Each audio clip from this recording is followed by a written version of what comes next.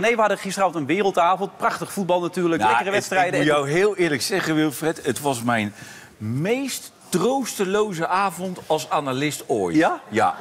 Twee wedstrijden Ja. die er totaal niet toe doen. Nee. Ik, ik had op een gegeven moment, nou, ik, ik zou die mensen uitleggen hoe de avond ging. Nou, mijn vriend heeft driekwart van de avond in de auto gezeten. zitten roken. Ja. Ik zat driekwart van die avond in mijn eentje voor die tv. En toen ben ik borrelnootjes gaan eten. Ja, die kwam uit, je halen steeds Uit bij ons. verveling, Ja. uit verveling, hè. ja. En daar werd ik toch een partij misselijk van, jongen, van die borrelnootjes. En die tweede wedstrijd, dat was, nog, dat was eh, Nice 3 tegen Vitesse 2. Dat was helemaal vreselijk. En toen dacht ik, ik ga zo naar huis.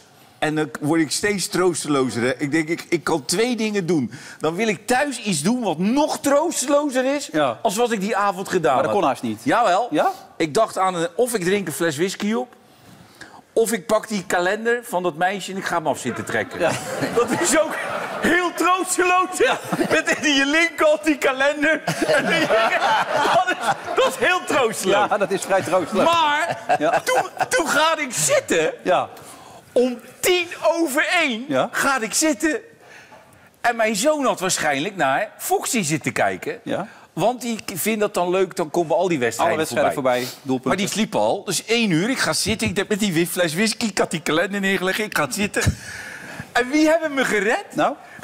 Pires en dokter Anders, professor Brugging. Nee. Die stonden nog te analyseren. Om tien over één. En weet je waar die het over hadden? Nee. Over een Deense club. Ja. Die vonden zij behoorlijk verdedigend speelde. Ja.